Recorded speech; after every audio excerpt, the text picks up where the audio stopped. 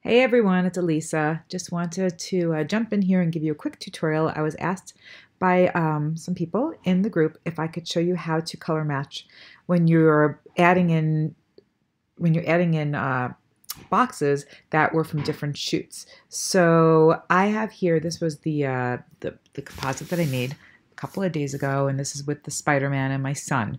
So the Spider Man was actually not shot by me. They're not my they're not my pictures. They're Chelsea Harris's pictures.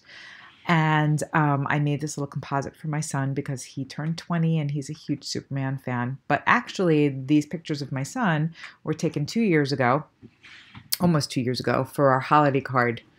So um, I wanted to make him something quick and fun while I was in college. So I decided to do just a quick fun four box. So as you can see here, I actually started to color manage. I color managed most of them. But if you see the top left box, how blue it is compared to the warm colors and tones of the other ones.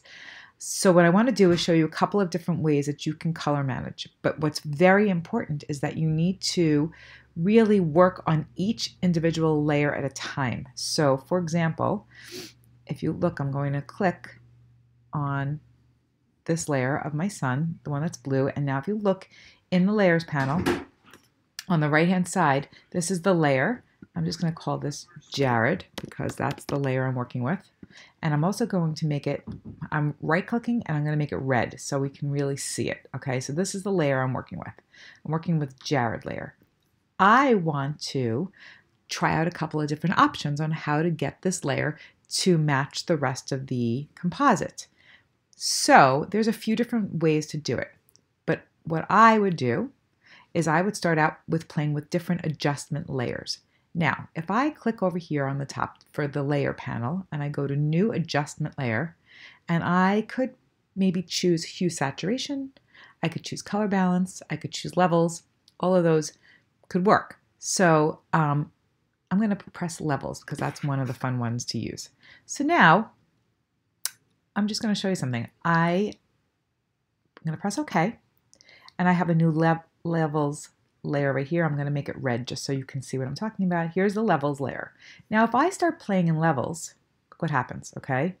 Basically, anything under that levels layer is getting adjusted.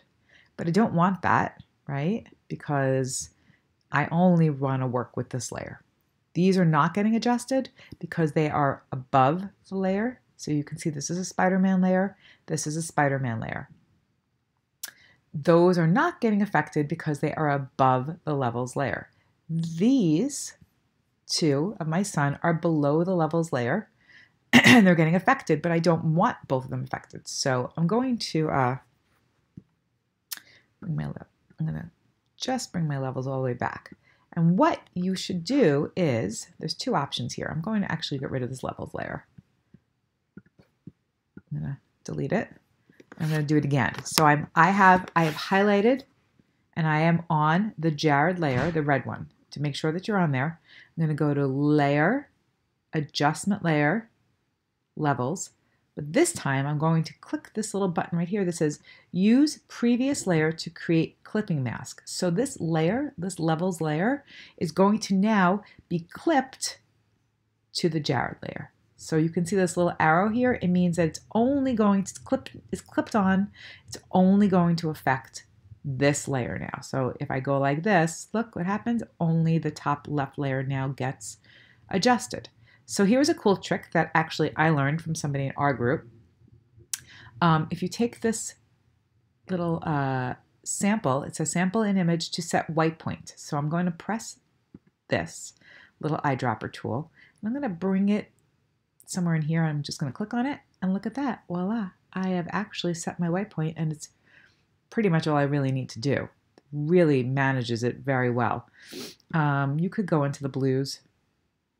What I did was I went here to blue and maybe even um, play around with it a little bit more just to even get a, get it a little bit warmer. Uh, but this is really, this is a lot of trial and error okay, when you do something like this, trial and error. But you want to make sure that you clip it to the layer that you're working on. That is really, really key.